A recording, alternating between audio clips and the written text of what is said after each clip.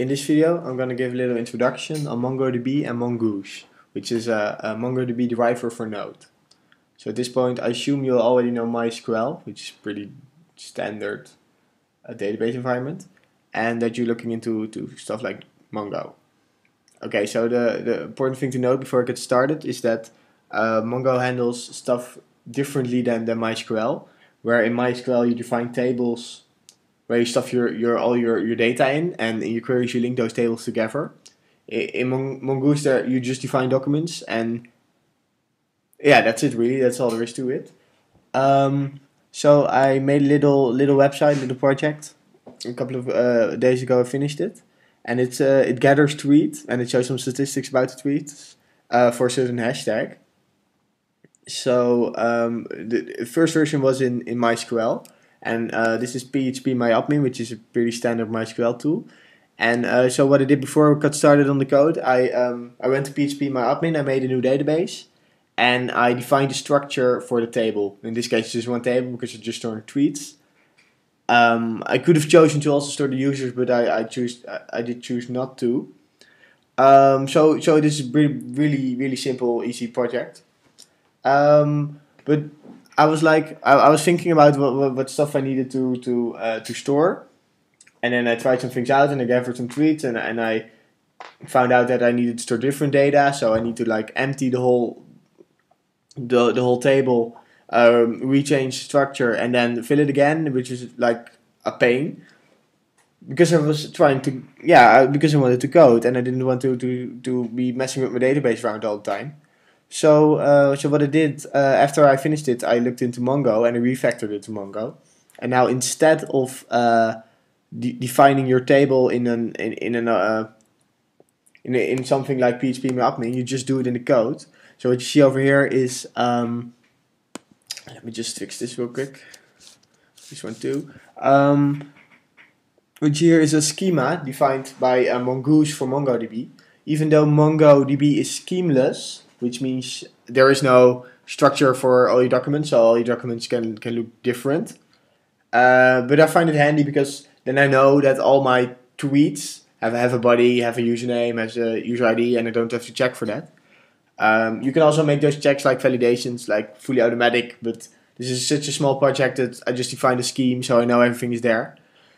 Um, so even though it's pretty similar to MySQL right now, I, I can do it on the code here. So even though there is no database and there is no table, which is called a collection in Mongo, uh, you can just define the code and if it doesn't exist, it creates it and else it connects to it. And uh, so it's pretty simple. Um, so at the top, I require Mongoose, which is installed by, by running, uh, let me go to the console, npm install mongoose, which will install your current directory um, and then then you just require it, um, and yeah, and then I make a pointer to the scheme uh, object, which uh, yeah, uh, which let me define the scheme real easily. So I say the body is type string. So here you have the, the, the keys are the the keys of your object, so to say. So um, the keys are uh, the the column names if you if you compare it to MySQL. And the, the values over here are the, the types. So you have a couple of uh, JavaScript types, and Mongoose will take care of converting them all to, to the MongoDB types, which I guess are pretty similar, maybe the same. But um, and you can also do some things like I wanted to index, and the index needs to be unique, so therefore I can just stuff all tweets I, I, I catch in, into the database, and Mongoose will, will figure out which it already has and which it hasn't it won't error or anything. Just it's pretty similar to insert ignore on MySQL. Um, yeah, so this is a basic scheme, and uh, that's all there is to it to defining your database or the structure of your database. Um, so when uh, when I want to query it, for example, let me show you some things in the console real quick. So uh, this is Mongoose, and Mongoose is a layer on top of MongoDB. Uh, so it's pretty, uh, it can be pretty difficult because I'm showing two new things at once. But now I'm going to show you some things about Mongo. Oh, let me uh, get to my VPS. Okay, so Mongo has a, a, a shell interface, just like MySQL does. And uh, the queries I'm going to do here are Mongo queries and not Mongoose queries, um, which are pretty similar but a little different. So, uh, for example, I, I need to use the the good database, the correct database where I store my data. This is C- CMDA, which is a code name for my uh, project thing. Um, and then you can just say db and then the name of the collection, which is tweets. So if I define um, something called tweet over here, here I say mongoose model tweet. Um, it's going to be of the scheme tweet, which I defined over here. Um, if you type it like this uh, and you stuff data into it, it will create the collection called tweets. So um, find is the same as select all, and you need. Uh, I'm not sure if you need to pass it anything. No, you don't. Um, so when I press find, I just get everything. This is like select star from all, or a select star from table name, and then um, and just I, I I get JSON back as you can see. So I'm not sure if it stores JSON JSON internally or just uh, converts it uh, for for for for uh, giving it back to me. Um, but you can also do some things like uh, like count, which uh, is pretty obvious in what it does. Um, and it's it's pretty straightforward and basic, and um, it, it's different in MySQL in a way that uh, in the way you handle relations and queries, and you don't have to do inner joins because everything you need to know about a document, uh, about something which is called a document, is already in the document. So you don't need to match tags on, on in a text table to your post and, and do some complicated stuff in your queries because it's all in, in, in your document. So in, in most cases, it, it makes a lot of sense to do, to do it like this. And you can also do things like find, um, for example, let's uh, the, let, let me check a username real quick. Where's the username? Uh, there's a, here's a username. So for example, I can find a username and then say username and it should return a document because she uh, this this user only uh, uh, tweeted once or I stored just one tweet in the database. So let me check another one with uh, let check my one for example. I think I did more. Yeah, yeah. Okay. So here, this this is like a, select star from table where username is Mike van Wassem, which is my Twitter Twitter name. Um, so you can do do basic stuff like this to to more advanced stuff like sorting and and and you can do really advanced queries. Uh, I'm not getting. Uh, um, I'm not going to show that in the introduction, mostly because I don't know myself yet. So uh, this is MongoDB. And now let me show you how to do it in the code with Mongoose. Uh, so here I define the scheme and in my uh, application at the top I uh, import the thing and um, I, I redefine the, the, the model tweet which I also did that here. So uh, here you can say I create it and then over here you can here, here I get it again. And this is the object I can use to query the database. So for example, if you want everything, just like uh, I just showed you before the, the shell, and you just say, um, for example, what's a good example? Uh, tweets per day. Um, tweets per day is an API call at my website. Let me show it real quick. Uh, yeah, over here. So when um, when I uh, type in tweets per day in my application, it will return to me a JSON with uh, with all days defined as a, as an object. So therefore, I can create this graph real easily, or a plugin I use can create this graph real easily.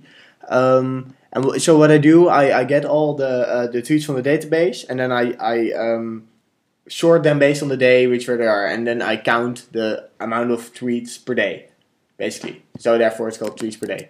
So how I do it is I just get all the tweets. So I say tweet find and then I give a pass the callback because it's async because everything is async in Node, and then I, I say I return a JSON of the the tweets, which first gets sorted by day, which is a function I, have I've written over here, which um, will divide all the tweets over the days and pass it and, and the data and, and um, prepare the JSON so that I can just feed it to my graph plugin and it works.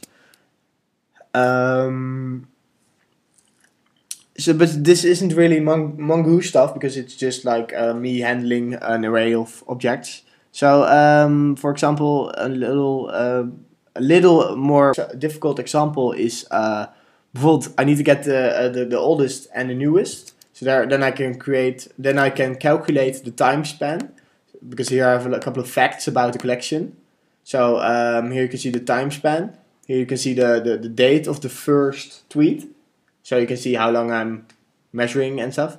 And here you can see the tweets per day which is different than yeah, which is actually actually it's the same because tweets per day uh, give back a bunch uh, um, a, a, collection of days uh, with, with, tweets counted into them and tweets per day over here just provide an average of all the days. So these should I'm not sure if that's the case, but the, the, the, this should correspond with the data you see over here.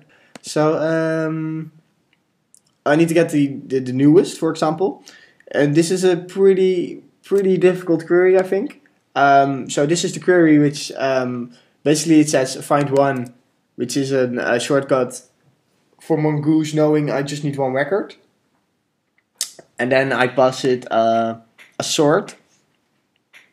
But it only gives me the top result because I only want one. And it sorts it based on created at, which is the which is a date object, a JavaScript date object. You can also sort date objects. I'm pretty sure they get converted, but but maybe not. I don't know.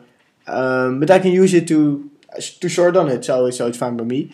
And uh, to get the oldest, I just um, I, I sorted at created at one and minus one for the newest. I'm not sure sure how, why that is. Um, and for example, to to calculate the time span, I just uh, I just get the newest and I get the oldest and I and I uh, subtract them and then divide them by a, by a bunch of numbers so I get the days instead of the seconds or the milliseconds. Um, so yeah, and here's another one because I want to know how much unique users you, we have. Um, how much unique users there are of all the tweets in my collection. So I say tweet distinct, which is pretty similar to MySQL distinct, and then the user ID, which is just um, a key in the object of in the document, I should say, and I execute query. All the tweets with a distinct user ID, and then I re return just the length of the array I get back. Um, so this is pretty basic stuff, I guess. But uh, I really recommend that you check out the, the documentation on the Mongoose website. Um, so for example, for the queries, they have really extended documentation on how to sort things and do advanced queries and stuff. Um, much more advanced than what I just showed now, which is just basic stuff. Um, so yeah, if you, you should definitely check it out.